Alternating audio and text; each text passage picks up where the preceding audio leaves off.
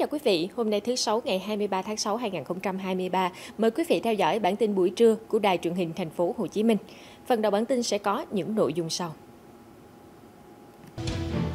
Quốc hội thông qua luật đấu thầu sửa đổi.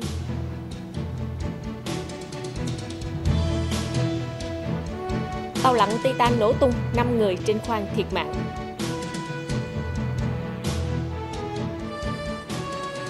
Vòng chung kết U17 châu Á, Trung Quốc bị loại sau trận thua đậm.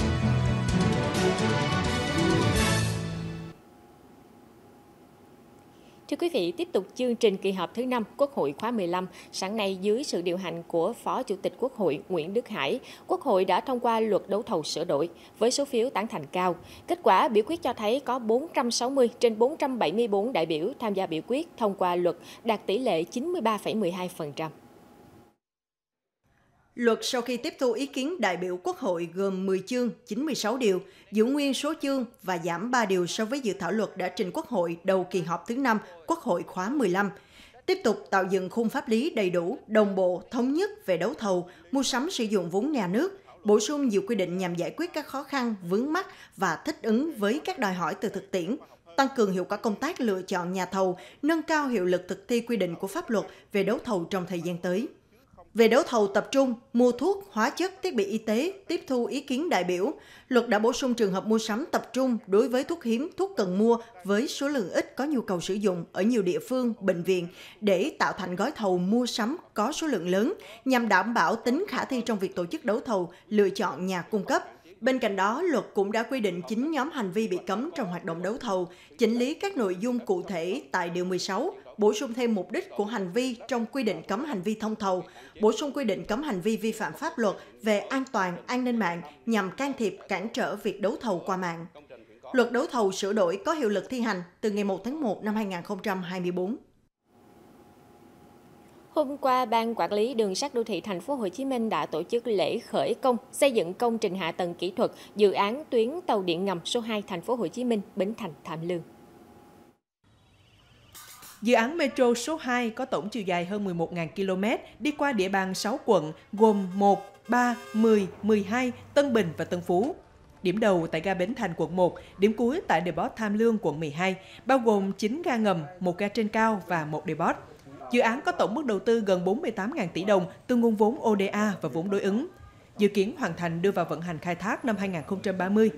Theo chủ đầu tư, công tác giải phóng mặt bằng toàn dự án đến nay đạt gần 87%, hiện đang gặp một số vướng mắc tại quận 3 liên quan đến đơn giá bồi thường, dự kiến hoàn tất bàn giao mặt bằng trong năm nay. À, hạn chế được cái sự ảnh hưởng của người dân.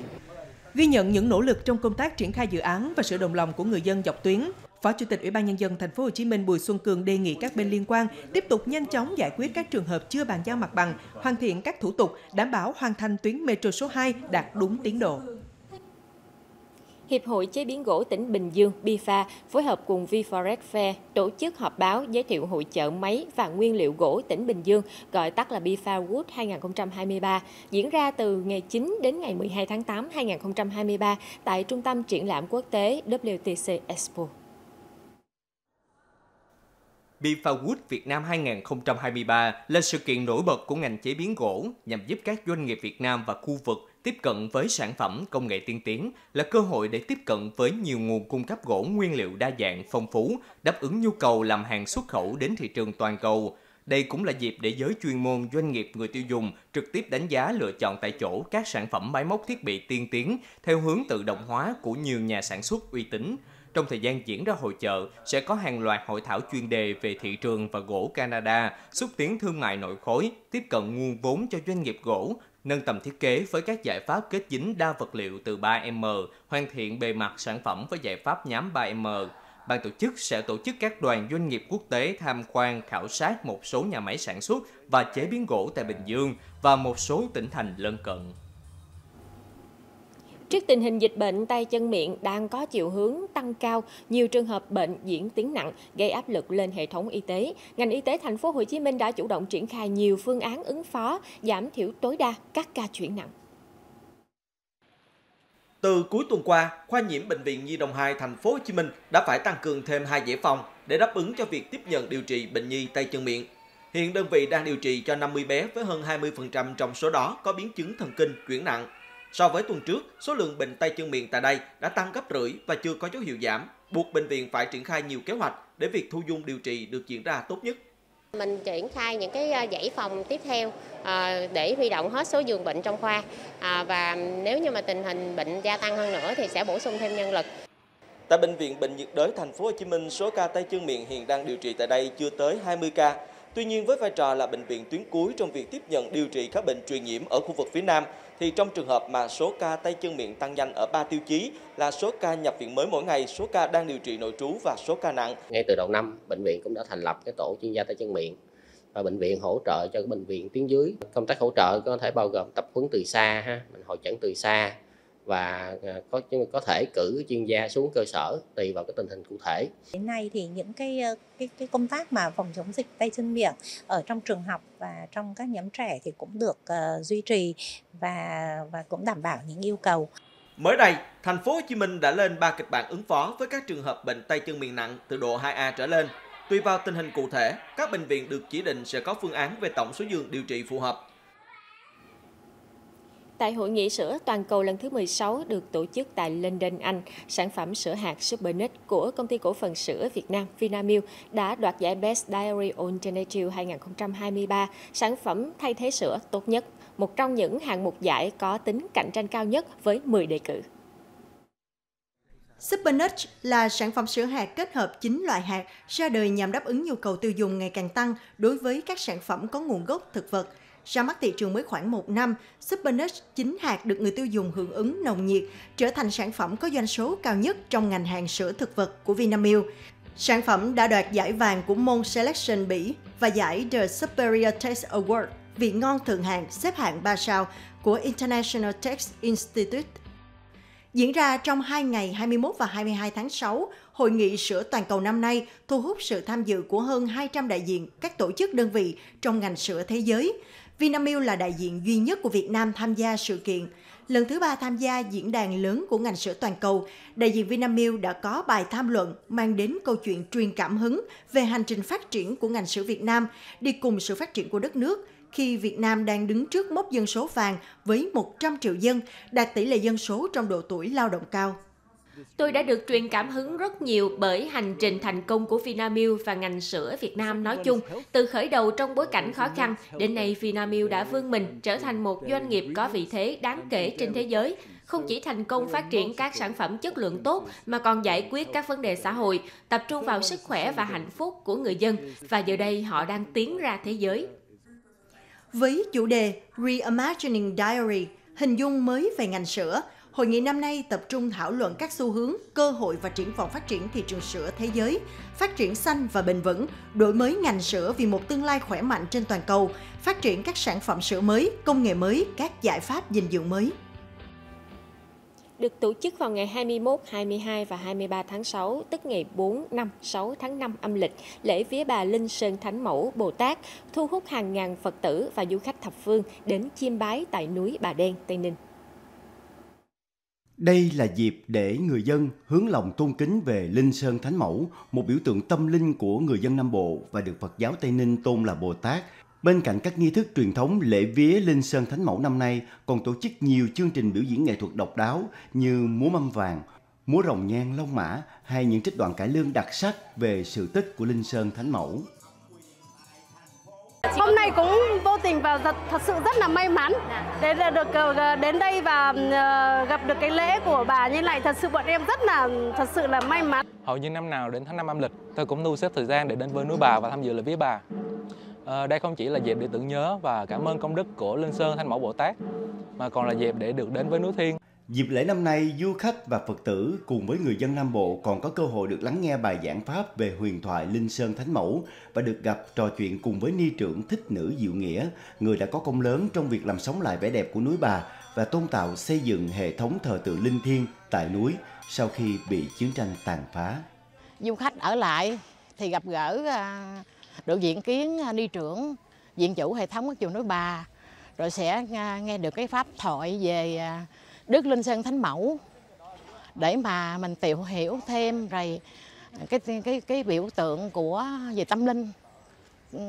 của vùng Nam Bộ.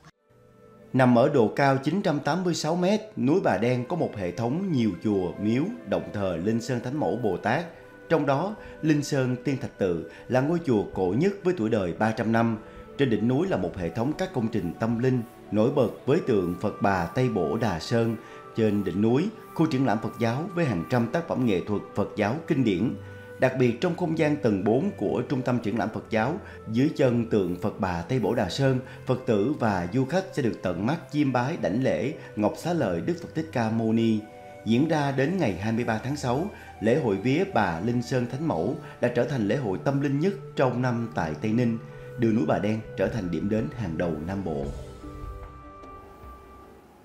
Hôm qua, chương trình game show Bí mật kệ đồ chơi đã được tổ chức buổi casting đầu tiên với sự hưởng ứng rất đông các bé thiếu nhi trong độ tuổi 8 và 9.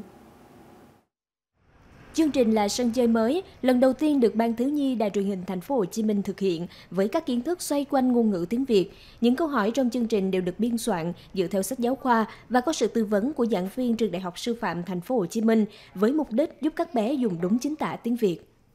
Tham gia cuộc thi này con cảm thấy hồi hộp, con chuẩn bị ở nhà, con học tiếng Việt,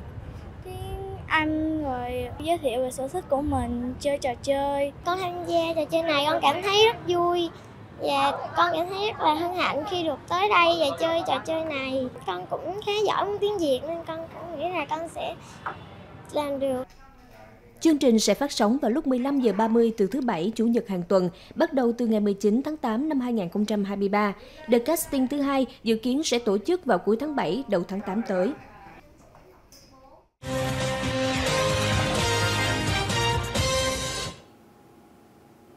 Tin thế giới, liên quan tới chiến dịch tìm kiếm chiếc tàu lặn Titan bị mất tích ở Bắc Đại Tây Dương, rạng sáng nay theo giờ Việt Nam, lực lượng tuần duyên Mỹ thông báo cả 5 người trên chiếc tàu này đã thiệt mạng trong một vụ nổ thảm khốc.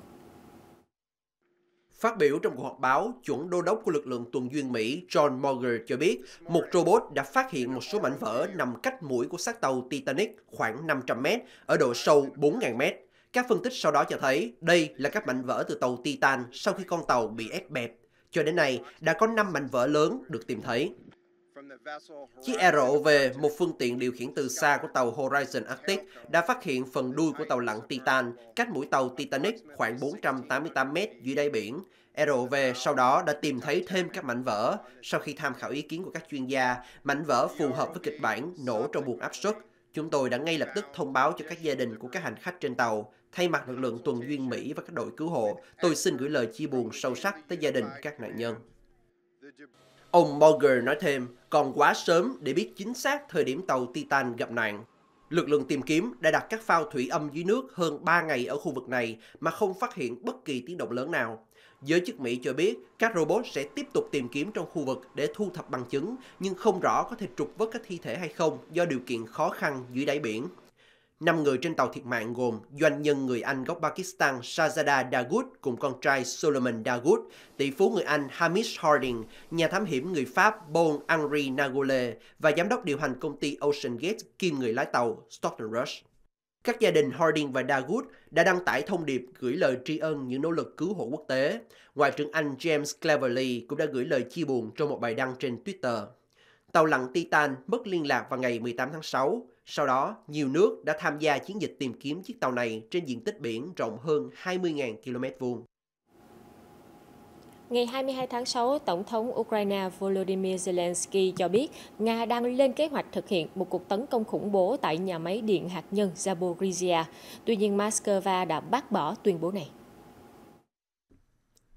Trong một video hàng ngày, ông Zelensky cho biết các cơ quan tình báo đã thu thập được thông tin Nga lên kế hoạch tấn công nhà máy và có liên quan đến việc rò rỉ phóng xạ.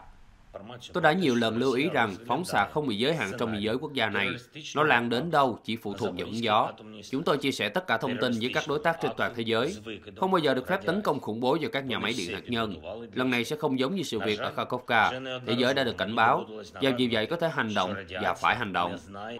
Sau đó, phía Nga đã lên tiếng bác bỏ tuyên bố của ông Zelensky. Cơ quan năng lượng nguyên tử quốc tế IAEA vừa ở đó xong và đánh giá tình hình rất ổn định. Việc đối thoại và hợp tác giữa chúng tôi với IAEA vẫn tiếp tục. Mọi thứ khác chỉ là dối trá. Theo kế hoạch, Tổng giám đốc IAEA Rafael Grossi sẽ tới Nga vào ngày 23 tháng 6 và có cuộc gặp với ông Alexei Likachev, Tổng giám đốc Tập đoàn Năng lượng Nguyên tử Quốc gia Nga. Trong một cuộc họp mới đây với Tổng thống Nga Vladimir Putin, Bộ trưởng Quốc phòng Sergei Shoigu cho biết trong 16 ngày kể từ khi cuộc phản công của Ukraine bắt đầu, các lực lượng Nga đã vô hiệu hóa hàng trăm trang thiết bị mà phương Tây cung cấp cho Ukraine, trong đó có 13 xe tăng chiến đấu chủ lực. Theo số liệu thống kê tạm thời của phía Nga, Ukraine đã mất 246 xe tăng từ ngày 4 tháng 6 đến 21 tháng 6. Trong số đó có 13 xe tăng chủ lực trên tổng số 81 chiếc mà Ukraine nhận được từ phương Tây. Quân đội Nga cũng phá hủy 152 xe chiến đấu bộ binh, 279 khẩu pháo và súng cối, trong đó có 48 khẩu do phương Tây sản xuất. Các thiệt hại khác bao gồm 443 xe bọc thép, 424 xe thông thường, 42 bệ phóng tên lửa đa nòng, 10 máy bay phản lực, 4 trực thăng và 264 máy bay không người lái. Thư ký Hội đồng An ninh Quốc gia Nga Nikolai Patrushev cho biết, trong thời gian cuộc phản công, đã có hơn 13.000 lính Ukraine thiệt mạng. Bộ trưởng Quốc phòng Sergei Shoigu nhận định, số vũ khí mà phương Tây chuyển giao cho Ukraine sẽ không ảnh hưởng đáng kể đến cục diện chiến sự. Đêm qua, theo giờ Việt Nam, Tổng thống Mỹ Joe Biden và Thủ tướng Ấn Độ Narendra Modi đã hội đàm tại Nhà Trắng. Sau cuộc thảo luận, hai nhà lãnh đạo đã ra tuyên bố chung gồm 58 điểm, trong đó đề cập đến quyết tâm thúc đẩy quan hệ song phương trên nhiều lĩnh vực. Phát biểu trong cuộc họp báo chung, Tổng thống Biden đã ca ngợi về một kỷ nguyên mới trong mối quan hệ hai nước. Về phần mình, Thủ tướng Modi nhấn mạnh về một chương mới trong quan hệ đối tác chiến lược giữa hai quốc gia sau cuộc gặp giữa hai nhà lãnh đạo tại phòng bầu dục. Tuyên bố chung giữa hai nhà lãnh đạo nhấn mạnh hợp tác Mỹ-Ấn Độ sẽ phục vụ lợi ích toàn cầu khi phối hợp thông qua một loạt nhóm đa phương và khu vực, đặc biệt là nhóm bộ tứ, để góp phần xây dựng một khu vực Ấn Độ Dương-Thái Bình Dương tự do, rộng mở, bao trùm và mạnh mẽ. Ông Modi sau đó đã có bài phát biểu trước Quốc hội Mỹ nhắc đến cuộc xung đột Nga-Ukraine và chia sẻ tầm nhìn về khu vực Ấn Độ Dương-Thái Bình Dương. Trật tự toàn cầu là dựa trên sự tôn trọng các nguyên tắc của Hiến chương Liên Hợp Quốc. Chúng ta cần giải quyết các tranh chấp một cách hòa bình và tôn trọng chủ quyền, toàn vẹn lãnh thổ của nhau. Sau đó, phái đoàn của Thủ tướng Modi đã tham dự quốc yến tại Nhà Trắng. Tổng thống Joe Biden đã nâng ly chúc mừng và một lần nữa ca ngợi quan hệ đối tác giữa hai quốc gia.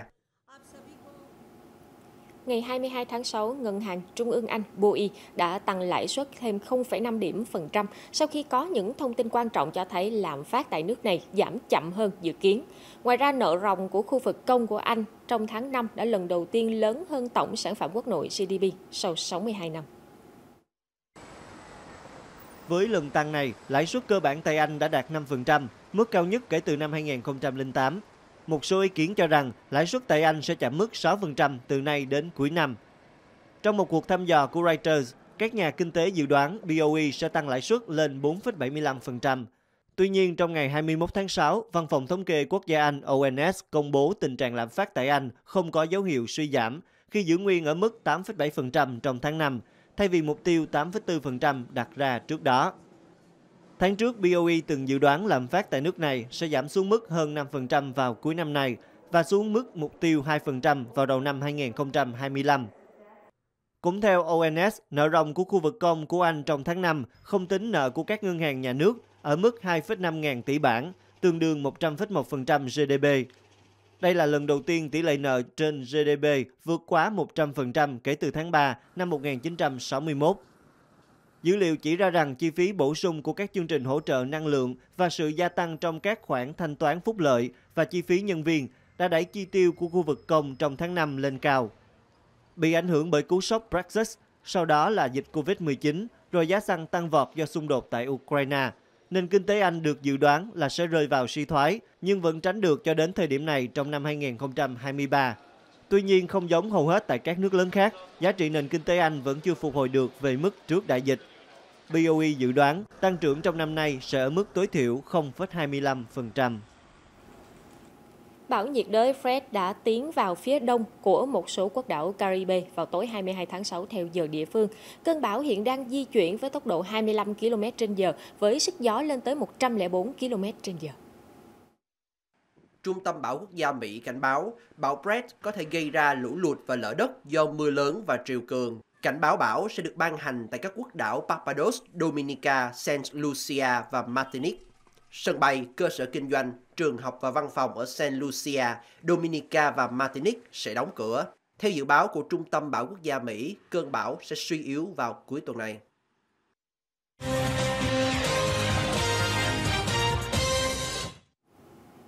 Trở lại với những thông tin trong nước, thưa quý vị, với vốn đầu tư trên 35,8 triệu đô la Mỹ, nhà máy nước Bình An xây dựng và đưa vào vận hành từ năm 1999 và đã ký hợp đồng bán sỉ nước với công ty cấp nước thành phố Hồ Chí Minh với công suất khoảng 100.000 mét khối nước sạch đạt yêu cầu mỗi ngày cho thành phố.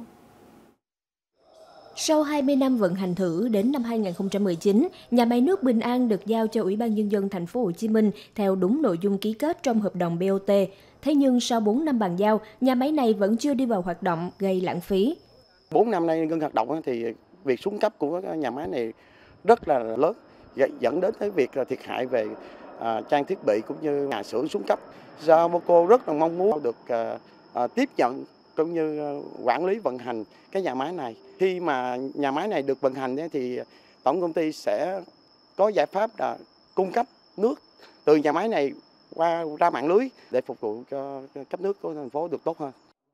Với thiết kế hoàn chỉnh của một nhà máy lọc nước sạch hoàn chỉnh, nếu không hoạt động, máy móc bị xuống cấp sẽ gây lãng phí rất lớn. Trước mắt cần bảo dưỡng hệ thống máy móc để nhà máy có thể phát nước ngay sau khi các thủ tục pháp lý được giải quyết ổn thỏa.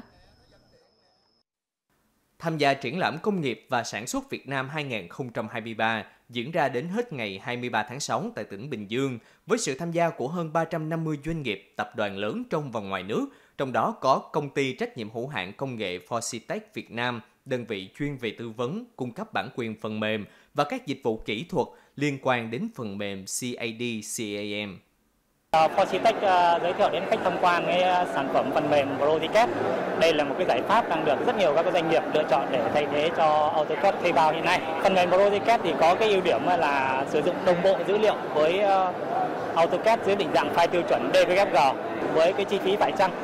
giúp các doanh nghiệp có thể tiết kiệm được chi phí so với sử dụng các cái phần mềm thuê bao. Forcitech Việt Nam là đơn vị tiên phong trong việc thúc đẩy các doanh nghiệp tại Việt Nam tuân thủ sử dụng phần mềm có bản quyền để nâng cao lợi thế cạnh tranh và tự tin hợp tác với các tập đoàn lớn. Với bề dày kinh nghiệm cùng đội ngũ kỹ sư trình độ cao, đơn vị luôn tư vấn và cung cấp giải pháp bản quyền phù hợp, hướng tới trở thành đơn vị số 1 tại Việt Nam trong lĩnh vực phần mềm CAD CAM. Đến với triển lãm, công ty cổ phần kỹ thuật laser cung ứng chuyên nghiệp trong ngành công nghiệp phụ trợ, đặc biệt là gia công kim loại tấm chính xác và kim loại thanh, giới thiệu đa dạng sản phẩm, dịch vụ trong lĩnh vực máy móc, điện, điện tử, xây dựng và công nghiệp y tế. Nhờ sự kết hợp của đội ngũ kỹ sư giàu kinh nghiệm và hệ thống máy móc thiết bị hiện đại, đơn vị luôn cải tiến nâng cấp công nghệ mới, ứng dụng hệ thống sản xuất công nghệ cao của Nhật Bản cùng với quy trình chọn lọc nguyên liệu đầu vào, thiết kế, sản xuất, kiểm tra đầu cuối hoàn toàn thực hiện theo tiêu chuẩn ISO 9001-2015. Vì vậy, sản phẩm công ty cho tốc độ cắt khắc nhanh chóng, chính xác trong từng nét cắt khắc, giúp tiết kiệm tối đa chi phí và vật liệu cắt. Đồng hành cùng lễ hội pháo hoa quốc tế đang diễn ra tại thành phố Đà Nẵng, nhiều hoạt động ẩm thực, văn hóa, nghệ thuật khác cũng được Kula Kakula tổ chức, thu hút đông đảo người dân và du khách, tạo thêm không khí sôi động trong những ngày này. Lễ hội ẩm thực ăn cho đã thèm lần đầu tiên được tổ chức tại Đà Nẵng với các gian hàng giới thiệu hơn 100 món ăn đặc trưng của các địa phương trên cả nước nhằm quảng bá và tôn vinh nền ẩm thực Việt Nam. Được đón nhận bởi những người yêu ẩm thực, chương trình không chỉ mang đến những món ăn ngon và cách chế biến độc đáo, mà còn là cơ hội để mọi người chia sẻ những khoảnh khắc thú vị bên bạn bè và gia đình. Việt Nam là một đất nước có nền ẩm thực phong phú. Ở mỗi địa phương, chúng ta đều có thể trải nghiệm những món ăn khác nhau. Đây là thời điểm hoàn hảo để đến Đà Nẵng. Với lễ hội ẩm thực, mọi người sẽ có cơ hội để thưởng thức các món ngon kết hợp cùng hương vị Coca-Cola để có những khoảnh khắc đáng nhớ. Dịp này, với chủ đề Hạ nhiệt tươi ngay, lễ hội biển với sự góp mặt của các ca sĩ, nghệ sĩ trẻ nổi tiếng đã thổi bùng không khí náo nhiệt, thu hút số lượng lớn khán giả theo dõi. Ngoài việc góp phần làm phong phú thêm sắc màu lễ hội tại Đà Nẵng, các sự kiện của Coca-Cola tổ chức đã đem đến nhiều trải nghiệm mới mẻ cho người dân và du khách trong và ngoài nước khi đến đây trong thời điểm lễ hội pháo hoa quốc tế. Tại triển lãm Công nghiệp và Sản xuất Việt Nam năm 2023 diễn ra ở Bình Dương, công ty trách nhiệm hữu hạn một thành viên Ngũ Kim Đỉnh Vàng cung cấp cho khách hàng các giải pháp tối ưu nhất với các dòng sản phẩm dụng cụ cắt và linh kiện khuôn mẫu cho ngành cơ khí nói riêng và công nghiệp nói chung. Là nhà cung cấp hàng đầu tại Việt Nam, công ty được rất nhiều doanh nghiệp cơ khí trong nước đánh giá cao về chất lượng và uy tín. Với ba chi nhánh trên cả nước, chúng tôi định hướng trở thành siêu thị cơ khí, cung cấp đa dạng các sản phẩm hướng tới sự thuận lợi cho nhu cầu của khách hàng, góp phần phát triển cho ngành cơ khí chính xác tại Việt Nam. Hiện công ty đang hợp tác với các thương hiệu lớn trong ngành cơ khí, chính xác như Domeramet, Damawa, Vertex, Esquire, Zida, đồng thời nhận đặt hàng theo yêu cầu hoặc bản vẽ của khách hàng, chiết khấu và khuyến mãi theo từng đơn hàng, hỗ trợ công nợ, tư vấn kỹ thuật. Trong khuôn khổ giải thưởng thương hiệu dẫn đầu Việt Nam lần thứ 10 2023, công ty trách nhiệm hữu hạn UNB Healthcare Việt Nam được vinh danh huy chương vàng sản phẩm dịch vụ chất lượng vì người tiêu dùng do Liên hiệp Khoa học Phát triển Doanh nghiệp Việt Nam tổ chức khảo sát và đánh giá. Công ty trách nhiệm hữu hạn UNP Healthcare Việt Nam là doanh nghiệp chuyên cung cấp những dòng sản phẩm chăm sóc, bảo vệ sức khỏe được nhập khẩu trực tiếp từ Nhật Bản, có thành phần từ thiên nhiên, Nổi bật trong số đó là thành phần Olia Vita, chiết xuất từ lá ô liu, có trong sản phẩm nước hydrogen dinh dưỡng thể thao Olemio với thông điệp tìm thấy phiên bản lý tưởng của chính mình. Chúng tôi có kế hoạch ra mắt dòng sản phẩm mới có tên Olemio vào cuối tháng 6 này. Đây là sản phẩm độc đáo với sự kết hợp giữa nước hydrogen Izumio và thành phần Olea Vita chiết xuất từ lá ô liu tạo nên sản phẩm nước hydrogen dinh dưỡng thể thao tập trung vào ti thể là nhà máy năng lượng của cơ thể người. Chúng tôi tin rằng Olemio sẽ nhận được sự quan tâm lớn từ người tiêu dùng. Sản phẩm được sản xuất trực tiếp tại Nhật Bản và được công ty trách nhiệm hữu hạn UNP Healthcare Việt Nam nhập khẩu chính ngạch về thị trường Việt Nam. Hội chợ khuyến mại Shopping Season năm 2023 đang diễn ra tại nhà thi đấu thể dục thể thao Phú Thọ, quận 11, thành phố Hồ Chí Minh do Sở Công Thương thành phố tổ chức, thu hút hơn 200 doanh nghiệp, 360 gian hàng trưng bày, quảng bá sản phẩm thuộc đa dạng ngành hàng. Xuân Điền Sài Gòn giới thiệu đa dạng các sản phẩm nông sản, rau củ quả nhiệt đới do đơn vị trồng và canh tác hoàn toàn theo hướng hữu cơ qua việc liên kết với các nhà nông, các nhà cung cấp xây dựng nông trại Xuân Điền Farm tại tỉnh Đồng Nai. Hiện tại cái, đang có cái à, Xuân Điên Farm ở Đông Nai và một cái farm ở Lâm Đồng. Thì hai cái farm này thì đang trồng à, các cái loại rau củ quả theo cái hướng hữu cơ. Người tiêu dùng có những cái bữa ăn à, an toàn và và, và lành mạnh. Sản phẩm được trồng và chế biến theo tiêu chuẩn Việt Gap và chuẩn ISO 22000 để cung cấp nguồn rau củ quả tươi, đảm bảo chất lượng về độ an toàn cao, góp phần bảo vệ sức khỏe người tiêu dùng, từ đó cải thiện bảo vệ thiên nhiên, môi trường thông qua việc phát triển nông nghiệp bền vững. Thông tin vừa rồi cũng đã khép lại bản tin buổi trưa của Đài truyền hình thành phố Hồ Chí Minh. Cảm ơn quý vị đã quan tâm theo dõi. Kính chào tạm biệt và hẹn gặp lại.